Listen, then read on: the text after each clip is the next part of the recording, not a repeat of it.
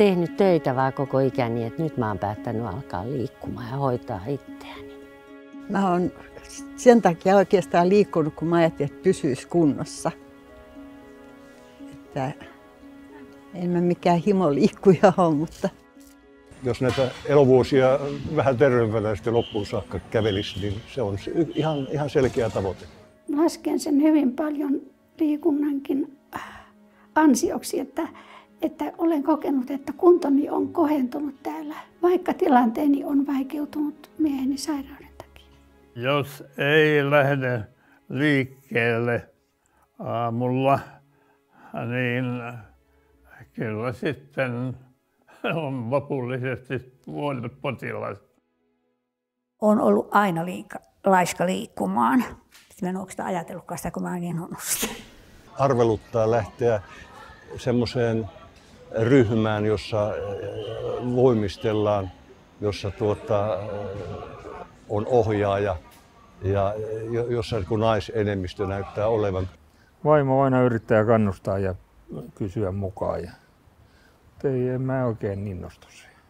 Se on vähän vastenmielistä oikeastaan, niin kuin toi sanotaan isompi liikkuminen. Paikkoja on rajoitetusti ja vuoroja rajoitetusti. Sitten niihin on kovat jonot, että saa olla näppärä ja nopea, että pääsee, pääsee niihin. Mä yksikseni uskalla lähteä mihinkään, kun pelkään sitä kaatumista.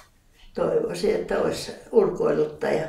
Monet ovat niin yksinäisiä, että ei, eihän kaikilla ole perheenjäseniä, jotka, jotka kuljettaisivat ulos. Se on ihanaa, jos on kaveri, kenen kanssa käy ulkona, mutta jos sattuu, että ei ole kaveria, niin sitten se ei jää tota, on kyllä liikunta siksi. Kyllähän tietysti hoitohenkilökunnalla on aika paljon työtä omassa työssänsä. Mutta jo, ehtisiköhän sieltä joskus edes 15 minuutiksi työntämään jotakin pyörätuolissa olevaa ulos. Kotipalvelusta oli tullut tyttö, tuli aamusella aina minun kaveriksi. Me talutettiin tuota käytävää pitkin eestakaisin siellä kotona. Mm. Ja sitten se alkoi vaan pikkuhiljaa sitten turvaluottorin kanssa päästä liikkeelle. Se on tämmöistä.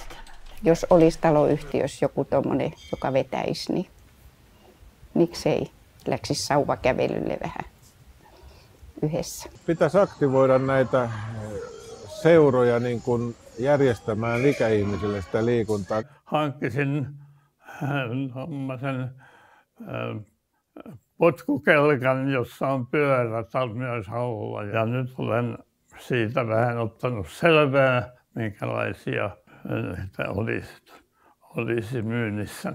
Aina kun sää sallii, niin minä vien sitä miestäni ulos. Ja sitten minä työnnän häntä pyörätuolissa siellä. Että mä katson, että se on mulla yksi kunnon kohottaja myöskin. Tehdään metsän raivausta ja moottorissahommia mökillä, että se on varsinaista liikuntaa. No niin, ja siitä alkaa.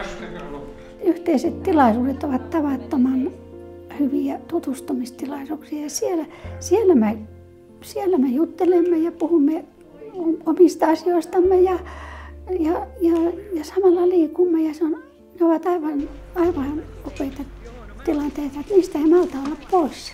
No se on ainakin ajan kulua. Kun on yksin, niin tota, on jo paikka mihin mennä.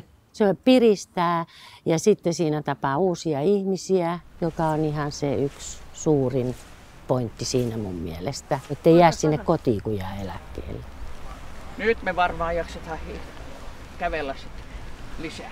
Mä oon saanut ihmisiä liikuntaan mukaan ja mä oon hirveän onnellinen siitä, että ne on viihtynyt. Ja se, että etenkin ikäihmisillä niin tämä liikkuminen on hyvin tärkeää, että ei saa jäädä sinne kotiin ja eikä jäädä istumaan paikoilleen ja että pysyy niin paremmassa kunnossa koko kroppa.